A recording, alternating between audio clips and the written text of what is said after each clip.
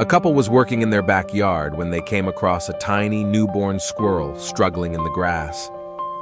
They looked around but couldn't find the mother squirrel anywhere.